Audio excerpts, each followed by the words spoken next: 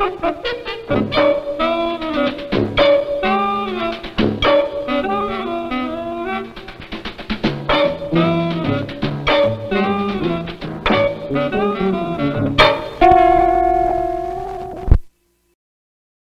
now presenting the Bullwinkle Philharmonic. Hoppity Hooper was a little known, low budget animated cartoon series from the mid 60s. It ran from September 26, 1964 to September 2, 1967.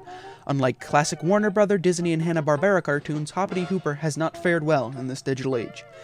In a customary format of short quips mixed with random and interesting historical facts, I'd like to celebrate Hooper for the joy that it has brought me. As with all good stories, ours starts in a cracker barrel, on a movie rack. Among the arrays of random adult movies was a container boasting 600 classic cartoons for the same price, $14.99. On it were 50 low quality episodes clearly taped instead of digitally transferred.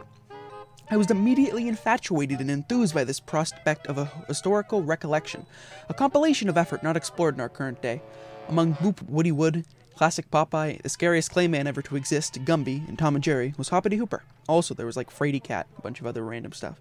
I don't know. Some of it was good, some of it was bad, and some of it was just a testament to the ingenuity of those early pioneers of the, the medium of animated content. The point is, bootleg or not, I was hooked. Periodically, I would watch and rewatch several episodes to much enjoyment. But why? Why did I enjoy a terrible looking cartoon series from the 1960s? Please help me, I don't know, I need help.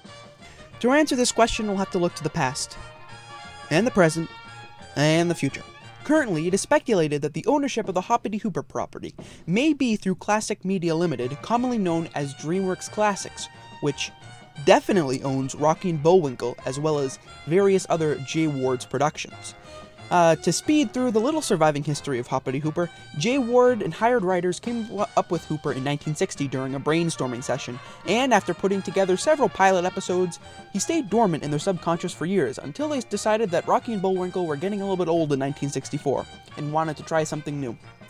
Things barely went anywhere at first, with the titular Fillmore, Fillmore Bear, to be voiced by Alan Reed, sign off to Hanna-Barbera's Fred Flintstone. Everything did end up coming together though. Later that year, the project was picked up by ABC and NBC, running from Saturday at 12:30 p.m. to 1 p.m. from its production in 1964 to October 2nd, 1965, and 1 to 1:30 p.m. from 1965 to its removal from the air, and all the while sponsored by General Mills. Despite Jay Ward's Productions' emphasis on separating Rocky and Bullwinkle from Hoppity Hooper, Hoppity was much like Rocky and Bullwinkle, with a dim-witted bear and a quick frog pairing, paralleling the previous moose and squirrel, while introducing a radical new element in the form of a bent-nosed conman fox, Waldo Wigglesworth, voiced by Hans Conried, entranced with get-rich-quick schemes. Also returning in these cartoons were pun-filled title screens, as well as pun-filled closing screens, accompanied by fourth-wall-breaking narration, originally conducted by Paul Frees and ending with William Conrad.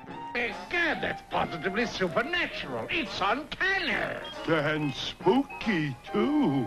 Well, what in the world is the terrible secret of Ring-a-Ding Spring? Be back next time to meet Hoppity Hooper starring in The Thing in the Spring.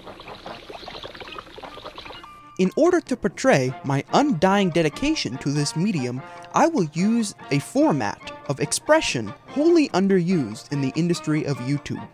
Reaction. Let's start with the pilot episode where Jay Ward, Bill Scott, Skip Craig, and a whole host of unattributed Mexican animators phase us into a car chase, and the conman Waldo Wigglesworth, as well as his partner in crime, Fillmore, Fillmore Bear, drive their illegal substance van through the countryside. That is, we'll do that if I end up caring enough to make a second video in this series, because this is the end.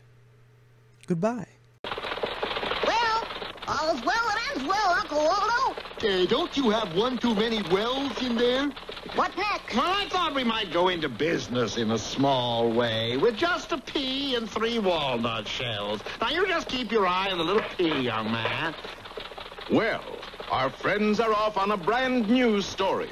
Be sure you see the beginning of it next time in the adventures of Hoppity Hooper.